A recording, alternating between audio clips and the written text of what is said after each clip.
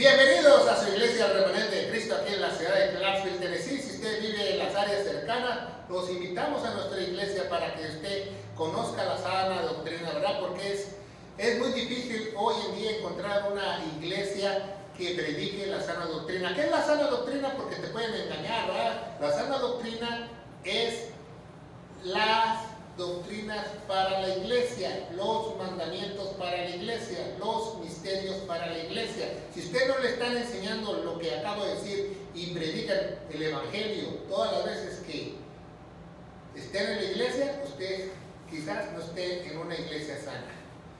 Bueno, vamos a darle gracias a Dios. Padre bendito eres en el nombre de Jesús. Te damos gracias por estar aquí, gracias por este estudio. Gracias por mis hermanos que están aquí acompañándome y gracias por todas las personas que nos están viendo a través de las redes sociales, a través de ese ojo mágico, Padre. Padre Señor, te damos las gracias porque toda la gloria es para ti. En el nombre poderoso de Cristo Jesús. Amén. Gloria a Dios, ¿verdad? hoy tenemos un estudio muy importante y muy controversial, quizás a muchos no les guste, ¿verdad? pero yo le recomiendo, si lo está viendo a través de las redes sociales, que no apague este video, que lo vea usted completamente para que quizás pues quizás le están predicando un Dios falso y usted no se ha dado cuenta, ¿verdad? Porque hoy en día hay mucha falsedad en las iglesias, vivimos en un tiempo, dice la Biblia, de apostasía, al igual que cuando Jesús vino, estaba el mundo que lo rodeaba Jesús lleno de apostasía, estamos viendo la misma situación, ¿por qué? Porque la Biblia lo describe así, y Dios tiene un plan y tiene todo proféticamente marcado, y lo que dice Dios se cumple. Entonces es una de las señales que ya viene el anticristo, que la apostasía, ¿verdad? Usted prende la radio, usted prende la televisión y usted escucha todo menos el Evangelio. Y es triste, pero lo es. ¿Y qué es el Evangelio? Que Cristo murió por nuestros pecados, fue sepultado y resucitó al tercer día. Si usted cree y confía, y confía de todo corazón y tiene esa validez, porque no solo es creer en la palabra de Dios, sino es saber que es efectiva. Usted va a ser redimido y comprado con su sangre y va a haber poder dentro de usted para que usted sea transformado y comprado con esa sangre, ¿verdad? Bueno, estamos aquí en un estudio muy importante que el Dios de la Biblia, el Dios de Abraham, el Dios de Isaac, de Jacob, ¿verdad? El Dios que yo predico y el Dios falso que muchas veces han enseñado en muchas iglesias. Ponga mucha atención. O quizás sea el Dios que tú te imaginas, porque así te lo han presentado. Pero realmente Dios tú no lo puedes cambiar, es incambiable. ¿verdad? Primeramente vamos a ver los atributos de Dios. Los, son muchos los atributos de Dios. Podría estar aquí hablando horas y horas de los atributos de Dios. Pero vamos a hablar de los tres atributos más importantes de Dios. ¿Verdad? más importante de Dios. Los, los atributos más importantes de Dios son la justicia, la santidad y la soberanía. ¿Te predican eso en tu iglesia? ¿Te predican que, que Dios es, es, justo, que va a mandar a, a, todo aquel que no ha creído que su hijo vino a morir en la cruz, va a ser lanzado al lago de fuego? que la ira de Dios está sobre él. O te predican un Dios de amor, un Dios bueno, un Dios amigable. Santidad, ¿qué te predican en tu iglesia? Tú estás apartado para el Señor correctamente porque puedes estar apartado religiosamente. Tú estás apartado correctamente para el Señor. ¿Sí? Pero bueno, ¿y soberanía? ¿Qué soberanía? Que Él tiene el control de todo, si hace lo que Él dice, si hace lo que Él piensa. ¿verdad? Nos dice en Isaías, ¿verdad? Capítulo 54, que mis pensamientos no son los pensamientos de Él, mis caminos no son los caminos de Dios. Dice Jeremías que yo nací con un corazón incurable. Por eso necesito ser redimido para que Dios me dé un nuevo corazón. Para que yo sienta y yo vea, yo crea y sepa quién es Él, ¿verdad? ¿Cuál es el Dios mal enseñado? No quiero decir que no son atributos de Dios, son atributos de Dios también, pero haz cuenta que aquí está un pastor, ¿verdad? Aquí está un pastor y, agarra y dice, para que se me llene la iglesia, voy a predicar los atributos de Dios, los buenos, no los que no me gustan. Entonces predican el amor de Dios, predican de su misericordia, preguntan de Dios es fiel y tú no lo eres, que Dios es tu amigo, pero no predican de su justicia, santidad y soberanía. Yo me pregunto, ¿por qué no predican de la justicia, santidad y soberanía? Soberanía cuando son los atributos más importantes de Dios. Estos son los secundarios. Porque Dios se revela como un Dios justo, santo y soberano en la Biblia. Me emocioné. ¿ah? Pero vamos a ver. Fíjense nada más. Primero, te enseñan en tu iglesia. Si tú estás en una de estas iglesias, lo que vamos a hablar, corre por tu vida. Oh, tenemos un Dios de pacto. Pues ¿sabe qué? Su Dios de pacto que usted está haciendo es con D minúscula. Porque el Dios de Abraham, Isaac y Jacob no hace pactos con cualquiera. Dios tiene siete pactos establecidos en su palabra. Y no porque se te da tu regalada gana vas a hacer un pacto con Dios. Entonces te engañan, ¿verdad? Tú puedes pactar con Dios. Mira, tráeme tu reloj y Dios te va a dar dos relojes. Tráeme tu casa y, te pasa abajo de un puente. Y entonces eh, ahí, va, ahí va el borreguito y dice, eh, eh, amén, amén. Y lo engañan. Entonces te enseñan un Dios mal enseñado que es un Dios de pactos. Eso es mentira. Dios hace pactos con el hombre y los ha hecho siete veces en la historia de la humanidad y ya están todos escritos en la Biblia. Si tu pacto no está escrito en la Biblia, no es de Dios. Yo estoy dentro de un pacto, yo estoy en el, eh, yo soy simiente de, de Abraham, porque simiente sin ese es Jesús y yo soy de Jesús. Yo entro en ese pacto. Pero no puedo entrar al que yo quiera o al que yo haga o maquile con mi mente o con mi imaginación. ¿Verdad? Y muchos te enseñan, no, que tú puedes hacer pacto con Dios y que tú le tiras tres monedas a Dios y Él te manda cinco. Y que échale toda la canasta y da diezmos, ofrendas, la renta, los despluman y los, les, los rapan a las ovejas. Estos no son siervos de Dios, esos son lobos rapaces con doctrinas de demonios. Abre los ojos. Dios no es un Dios de pactos. Dios ya estableció los pactos.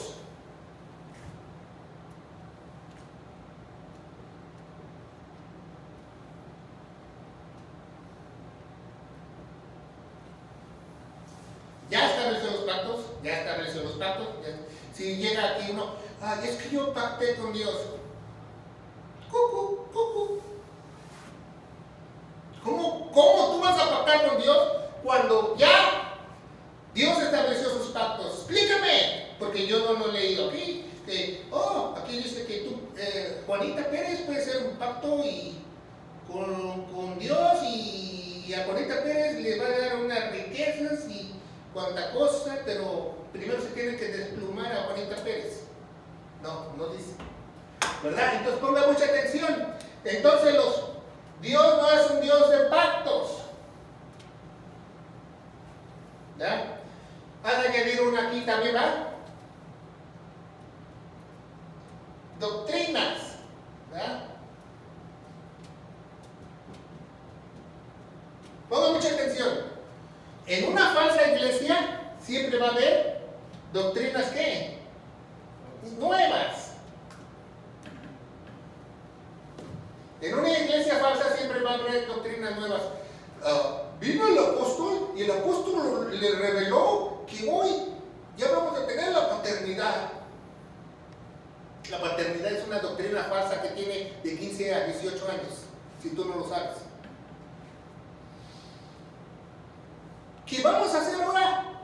Escuelita de Jesús. ¿Qué vamos a hacer?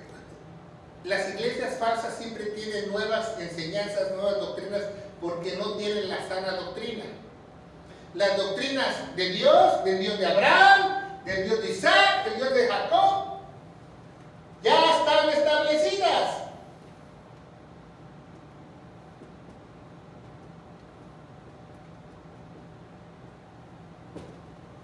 Nadie le puede quitar o añadir este libro. Ya están establecidas.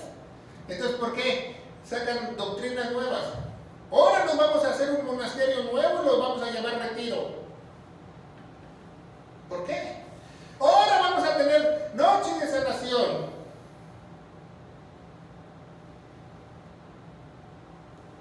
¿Verdad? O volteas el salto de cabeza para que tengas un novio. Todo eso es abominación, ¿verdad? Como hacen algunos con sus ídolos. Pues es lo mismo que tú tengas un ídolo o tengas un pastor que lo idolatras. Quiero que sepas. ¿verdad? Yo fui a una iglesia en México que, pastor, una coquita, le cargo el, le, le quitaron el sudor al pastor que está ahí predicando. No le besaban la, mano porque no le alcanzaba para el anillo de Pedro. Pero lo mismo, es idolatría. Y no hables mal del, del siervo de Dios. Nosotros somos ministros de la palabra. Doctrinas ya están establecidas. Cualquier iglesia que tú vayas y te diga que tienen una nueva enseñanza, una nueva doctrina, es falsa. Es falsa. Abre los ojos, es falsa. Oh, es que aquí dice que Jesús se fue al desierto por 40 días. Entonces vámonos de retiro 40 días. Esa es una teología barata. Las doctrinas ya están establecidas. El verdadero Hijo de Dios no seguía por ejemplo, seguía por doctrinas ya establecidas por los apóstoles. Bendice, ¿verdad? Dios, Dios me bendice. Dios bendice quién?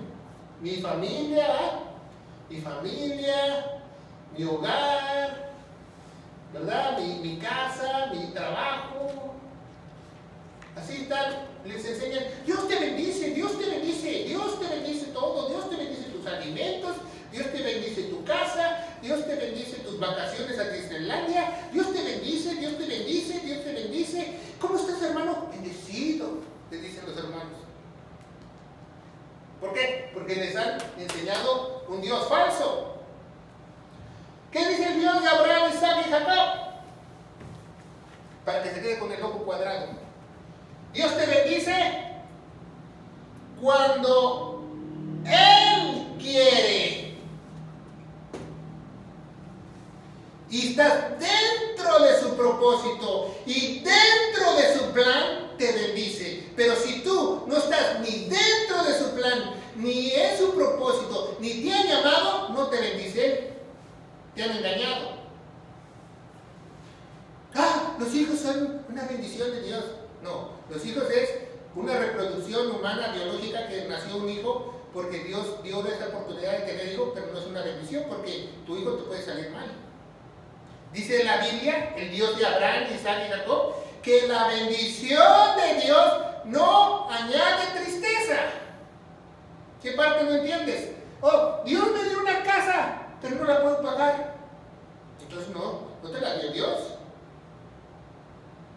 Y Dios te bendice conforme a sus riquezas y gloria cuando Él se le da su gana. Ese es el Dios verdadero. Oh, no, pero deposita la moneda aquí, Dios te va a bendecir. Compra el pañuelito, Dios te va a bendecir. Aviéntate 10 aves marías, Dios te va a bendecir. Esa es falsedad, ese es el Dios que te han enseñado mal, un Dios imaginario. Mejor vete, a, en vez de irte a una iglesia, iglesia donde estás, vete a Walt Disney. Luego tienes hijos, dice, Dios me dio un hijo y no lo puedes ni educar. Entonces, dime tu bendición o no, si no añade tristeza. Entonces, realmente no sabemos cuándo es bendición o no, porque Dios te bendice cuando Él quiere. Pero si tú estás conforme a sus propósitos, conforme a su plan, tenlo por seguro que Él te va a bendecir en todo. Pero si no estás en su plan, estás, como dice el árbitro en el fútbol, soccer, dice, estás fuera del lugar. No te bendice nada, nada, nada. Estás mal. ¿Crees que ¿Cómo estás, hermano? Bendecido, bendecido. Si Dios no era bendiciendo a toda hora, ¿quién te dijo eso? victoria. ¿Ah? ¡Ah! Justicia nuestra, victoria, yo soy victorioso, yo soy cristiano. Y, y llega a la casa y se pone a llorar. Tú no estás en victoria. Yo estoy en victoria. Vamos a poner aquí, Yo. Yo estoy en victoria. ¿Qué dice el Dios de Abraham, Isaac y Jacob? Que tú estás en victoria siempre y cuando estés, esté Jesús dentro de ti. Si no, estás en, en derrota. Eso es lo que dice Dios. Somos más que vencedores en Cristo Jesús, en que está dentro de mí. En Cristo Jesús. Más claro ni el agua, ¿va? Para un niño de kinder. En, en, quiere decir dentro, en, en. Soy más que vencedor en Cristo Jesús. Yo no soy nadie. Y yo no soy vencedor. El que es vencedor es Cristo en mí. ¿Verdad? Pero ¿qué te enseñan? Oh, y la victoria, la victoria, se ponen ahí a cantar, ¿eh? somos victoriosos y zapatazo en el piso. Esa es santería. Seguimos adelante. Dios te protege, ¿ah? ¿eh? ¿Qué no pusimos protege?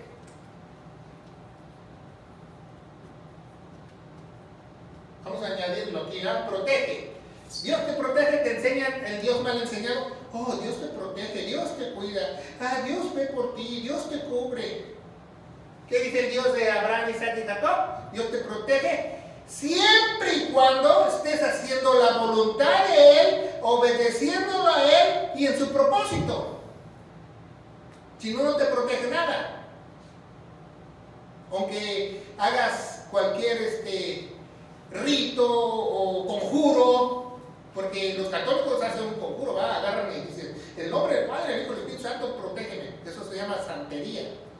También un evangélico cristiano hace la santería, pero sin el movimiento con la mano. Dice, que la sangre de Cristo me cubra. Lo mismo. Dios no te protege. Dios te protege si tú estás de acuerdo a su voluntad, a su plan, dentro del redil, se llama teológicamente. Si no, no te protege, estás desprotegido. Más vale que vayas y compres un seguro. ¿Qué diferencia que el Dios que te han enseñado al Dios verdadero? Entonces Dios te protege de acuerdo a su plan y a su voluntad.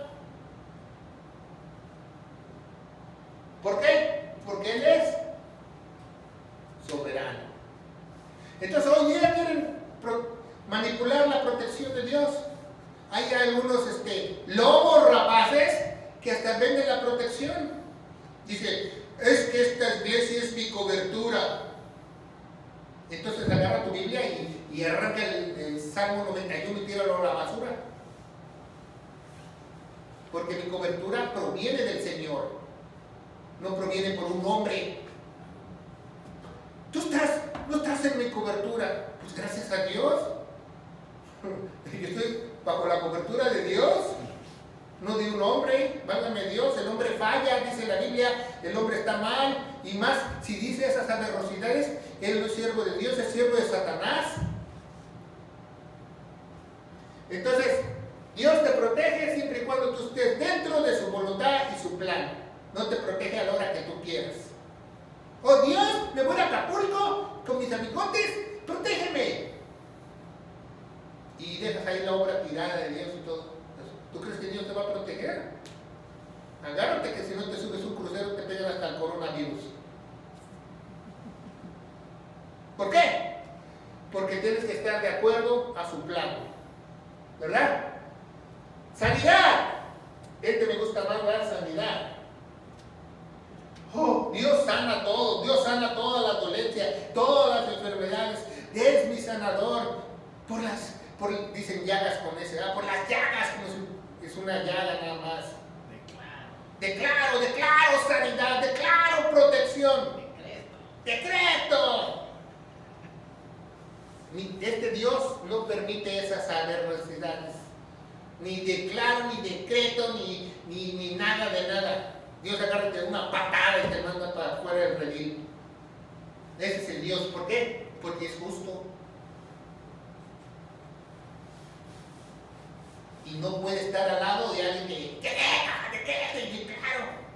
Porque él es santo, no lo... Imagínate si, si Dios agarra a alguien y, y yo decreto, y yo declaro, Dios nada más hace. Quítate porque es que está endemoniado. Porque esa palabra no es mía. ¿Verdad? Sana. Dios sana si quiere. A lo mejor Dios me enferma a mí, me manda a un hospital porque quiere que salve a alguien. Lo hace. ¿No sabía eso?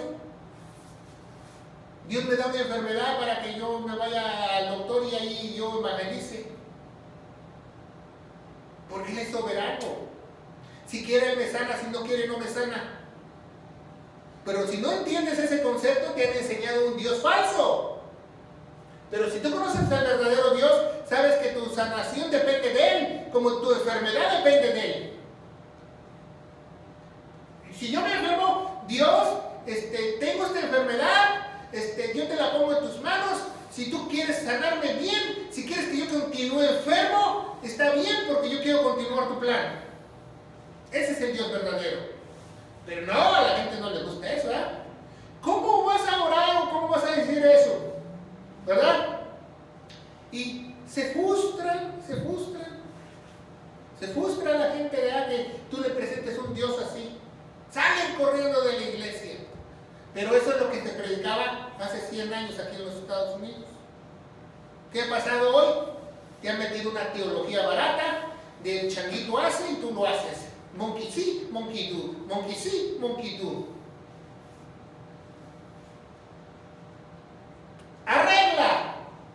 Dios me arregla mi matrimonio, mi vida, mi, mi casa, mi hogar, va a arreglar mis hijos. Ja, ja, ja, ja, ja. Ese es tu Dios falso que te han enseñado. Dios arregla tu vida si quiere para el propósito. Si está un hijo estorbando, te lo quita para que tú hagas el propósito. Porque es Dios. Tienes una esposa, te la quita. Porque es Dios.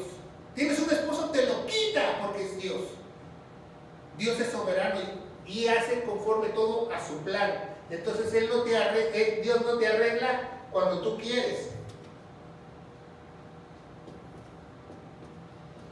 Tus deseos, ¿verdad? Y aquí que dices, Él me sana todas mis dolencias, y aquí Él me arregla toda mi vida. Dios arregla solamente si tú estás en su plan, conforme a su propósito y conforme a su tiempo. porque hay unas hermanas que, ay, llevo 40 años orando por mi hijo. O sea, aviéntate otros 20 más. Porque si tu hijo no está en el plan de Dios, te vas a morir orando.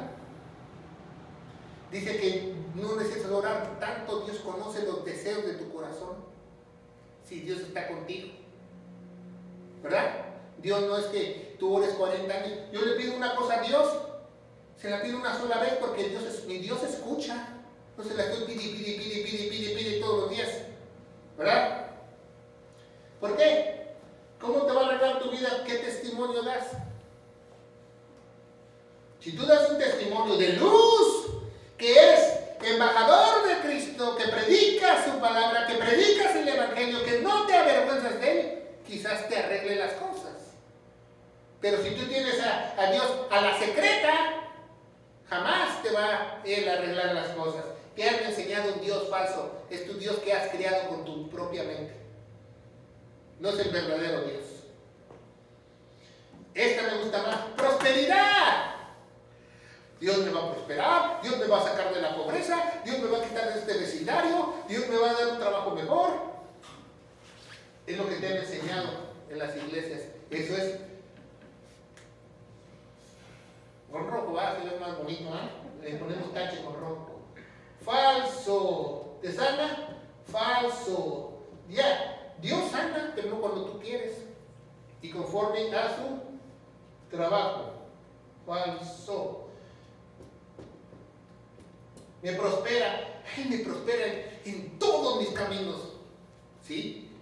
Si tú tienes el camino que se llama Jesucristo, Sí, te prospera en todos tus caminos, pero no los tuyos.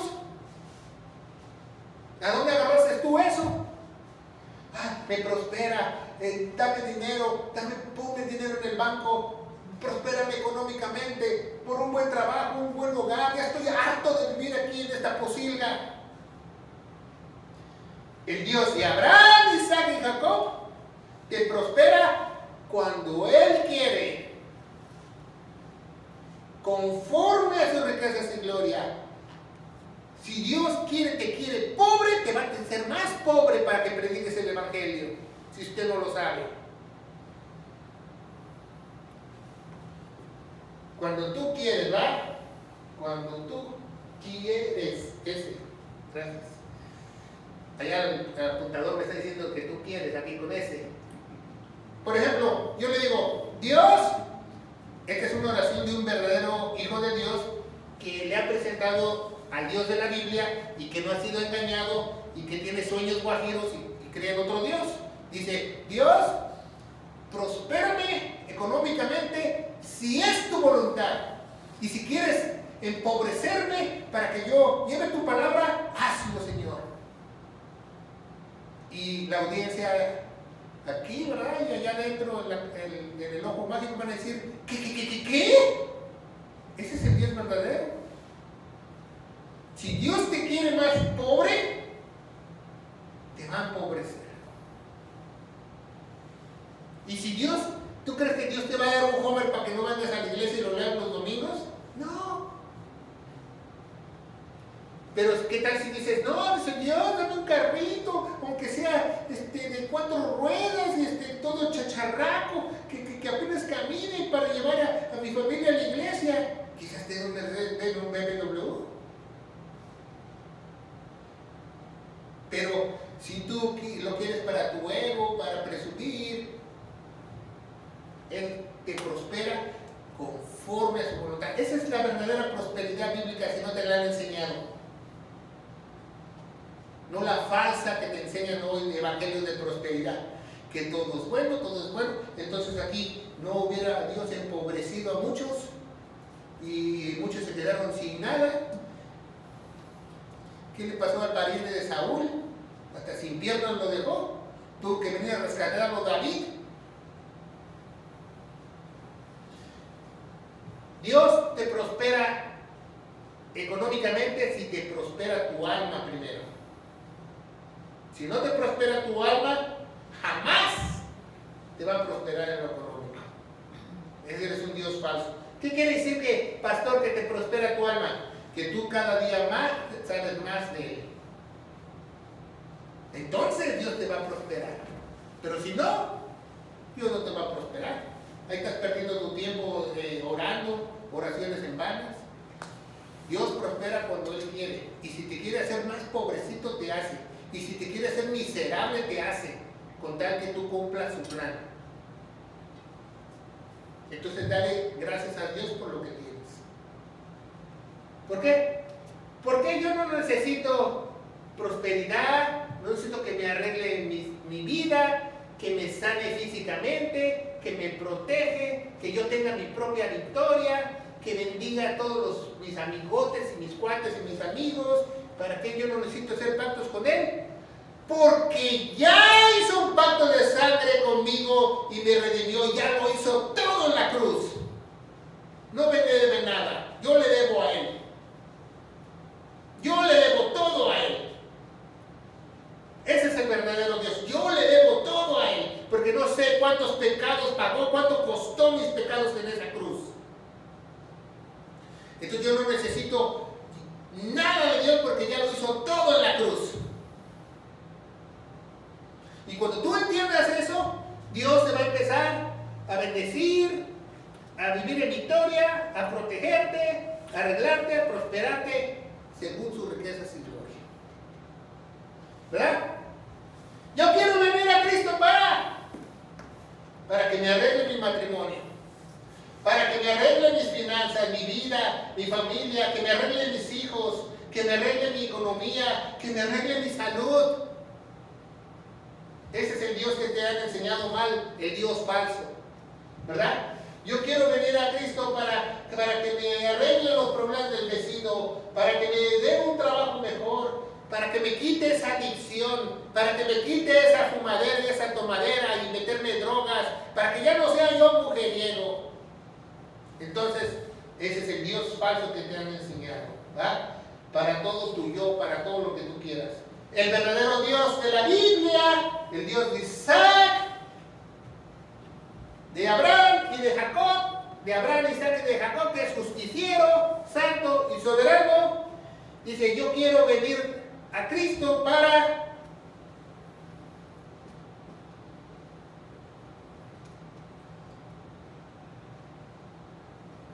para adorar. ¿Qué diferencia hay? Tú no puedes adorar a Dios si, estás, si eres un estuche de monerías que quiero, quiero, quiero, quiero. Este es el verdadero adorador, el que sabe conoce a su Dios, porque conoce la palabra de Dios, ¿verdad? Dios busca adoradores en espíritu, que el Espíritu Santo está dentro de ellos, y en verdad, en verdad, que le hayan presentado al Dios de la Biblia, no otro Dios falso. Entonces, como vemos, ¿qué diferencia hay, va? Ya no te predican eso, ¿ah? Por eso a mí no me dicen, pastor, vaya a predicarles en mi iglesia de la prosperidad. Se va a mi iglesia Pastor, voy a predicarles de los atributos de Dios a mi iglesia. Se mame de iglesia cuando yo les predique. Porque no les va a gustar, porque van a desconocer este Dios. Se van a parar de sus sillas y van a decir, yo no conozco ese Dios. A mí me han enseñado otro. Pero según la Biblia, este es el verdadero Dios. ¿Tú adoras al verdadero Dios o te han enseñado un Dios falso y te imaginas en tu mente un Dios falso. Porque si es así, jamás vas a encontrar al verdadero Dios. ¿Verdad? Bueno, no nos podemos ir sin predicar el Evangelio. ¿va? Una pregunta por acá. Pastor, la, la condición de los dos es diferente. Porque por lo menos en este, en el de este lado, el de, ¿cómo se llama? La condición sería cuando usted va a un pastor y le dice, uy, estoy mal económicamente, ¿qué es lo que le dice usualmente? ¿Estás diezmando? Exactamente, ¿va? Y el de este lado es, que es la condición que pide Dios, es santidad. Exactamente. Pues muy buen punto de vista, ¿verdad? Porque te, dicen, por ejemplo, es que estamos orando por el hermano, estamos orando toda la iglesia y se murió es que el hermano no tuvo fe. Porque les ha presentado un Dios falso. Se murió porque Dios quiso. Tú por más quieras a tus seres queridos, si Dios se los quiere llevar, se los va a llevar. Si a mí me dicen, vaya a orar por mi pariente porque está agonizando, yo voy a orar. Dios, haz tu voluntad. Si quieres que se quede, que se quede. Si quieres llevártelo, llévatelo. Esa es una verdadera oración, porque yo respeto la soberanía de Dios. ¿Verdad? Como usted dice, ah, ah es que no, no tengo dinero, no tengo dinero, es que no diezmas, no ofrendas. Y no te dicen, no porque no traes, no tienes al Dios verdadero. Si tuvieras al Dios verdadero, no te preocuparías por eso. Él se encargaría de ti. Y si tú tuvieras dos pesos, estuvieras contento. Si tuvieras mil pesos, estuvieras contento. dice en Filipenses, todo lo puede Cristo que me fortalece, pero nada más les enseñan esa cita de ah, Filipenses 4.13, ¿verdad? Pero no les enseñan el contexto inmediato que dice, en la pobreza, en la enfermedad, y que sea so pobre, yo sea tenga dinero, en lo que sea. Todo lo puedo. ¿Por qué? Porque estoy contento con lo que Dios me da. Si Dios me da una vez de comer, está bien. Si Dios me da tres veces de comer, está bien. Si me da caviar, está bien. Si me da frijoles, está bien. Porque es su voluntad. Entonces es muy importante. Porque te dicen, no, que tú tienes la victoria porque estás en una iglesia y eso, ¿va? Por eso dice que este libro de la ley no se aparte de tu mente porque eso te va a prosperar todos tus caminos. Josué 1.7, 1.8 nos dice eso, es una promesa para la iglesia también. Pero tienes que, como dice en 2 Timoteo, trazarla bien, ¿verdad? No porque leas Josué 1.8, 1.7 quieras invadir Jericó, porque vas a estar fuera del lugar, porque no conoces a Dios. Y es muy importante eso, y eso es muy importante. Usted quiere venir a Cristo, quiere venir a Dios para qué? ¿Para resolver su vida? ¿O para que te salve? Para venir a adorarlo. Por eso muchos no encuentran a Dios. Porque buscan a Dios para resolver su problema. Y el problema es que hay, Dios tiene enemistad contigo y te va a hacer carnitas en el lago de fuego si no crees lo que hizo Jesús en la cruz. Esa es la realidad.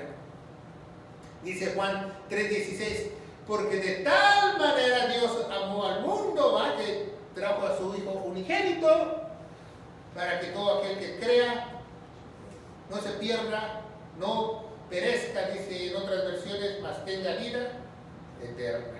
Pero Juan 3:18 dice, el que creyó ha sido salvo, el que no creyó ha sido condenado.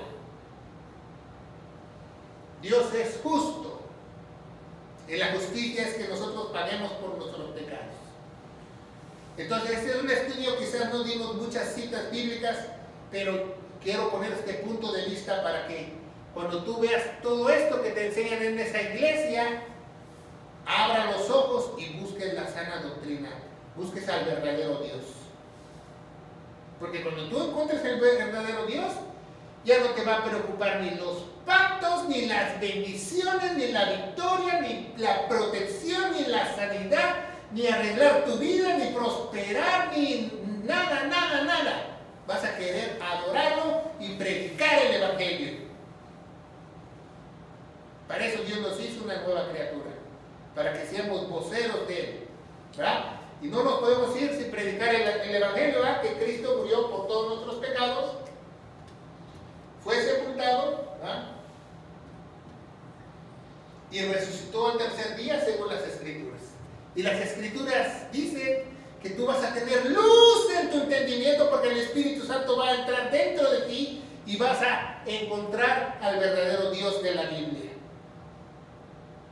Vamos a ponernos de pie. Padre, bendito eres en el nombre de Jesús. Te damos gracias por esta enseñanza. Padre, porque hoy en día han enseñado un Dios falso. Padre, no enseñan al Dios de Abraham, Isaac, de Jacob, aquel que es justiciero, santo, pero sobre todo soberano, Padre. Yo te pido en el nombre de Jesús que este video, este estudio les llegue a muchos para que les abra los ojos espirituales y, y empiecen a estudiar la palabra de Dios diligentemente en el nombre poderoso de Cristo Jesús. Y la iglesia de Dios dice Amén. que Dios los bendiga.